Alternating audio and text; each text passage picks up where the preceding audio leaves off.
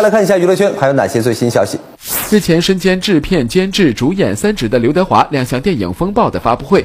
电影中刘德华扮演的是一位严肃冷酷的警察除此之外内地演员姚晨胡军也加盟了该片。与以往港产警匪片不同的是这部电影采用三维立体技术拍摄并定于年底贺岁档上映。